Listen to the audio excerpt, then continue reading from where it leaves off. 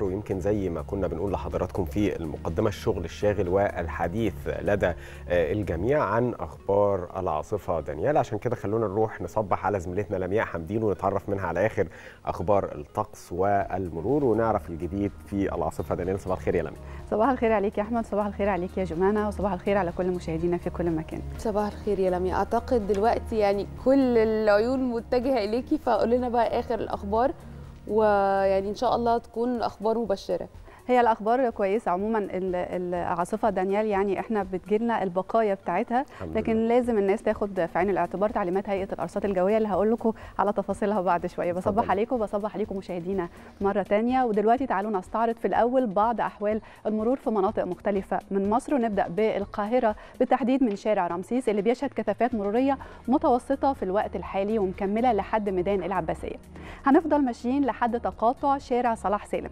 هناك هنلاقي برضو بعض الكثافات إنما نسبية. ونروح عند كوبري الجلاء هناك هنلاقي في سيولة مرورية ومكملة لحد طريق العروبة. عند كوبري المطار في كثافات نسبية هتبدأ تختفي وإحنا داخلين على طريق المطار.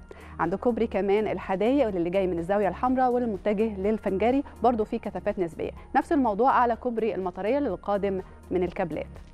دلوقتي هنروح للجيزة ونستعرض هناك الحالة المرورية ونبدأ من شارع فيصل اللي بيشهد كثافات مرورية.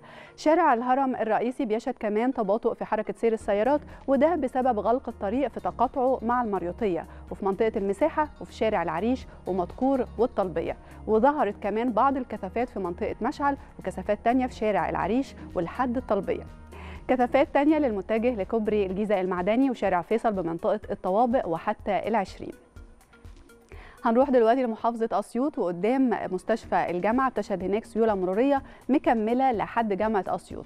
ولما نوصل هنلاقي هناك كثافات مرورية بتبدأ تظهر ومكملة لحد شارع المعلمين وبتقل بشكل تدريجي لحد الطريق الدائري في المحافظة. نروح للإسماعيلية دلوقتي ولو بدأنا الطريق من مبنى ديوان عام المحافظة هناخد طريق عثمان أحمد عثمان اللي بيشهد هناك سيولة مرورية كبيرة ومكملة لحد بداية شارع 6 كده خلصت جولتنا المرورية وخلينا نستعرض مع حضراتكم جولة سريعة عن أحوال الطقس النهارده. النهارده في انخفاض طفيف في درجات الحرارة على أغلب الأنحاء وفي سقوط لأمطار متفاوتة الشدة على شمال البلاد. والطقس النهارده هيكون حار نهارا على القاهرة الكبرى والوجه البحري والسواحل الشمالية وشمال الصعيد. كمان في نشاط للرياح أحيانا قد تكون مثيرة للرمال والأتربة على بعض المناطق من مدن القناة وشمال محافظة البحر الأحمر وشمال الصعيد.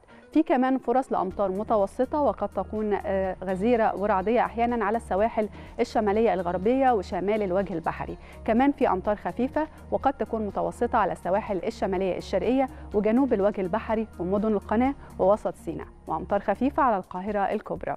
درجة الحرارة النهاردة في القاهرة 33 درجة وعلى درجة حرارة هتكون في أسوان 41 درجة.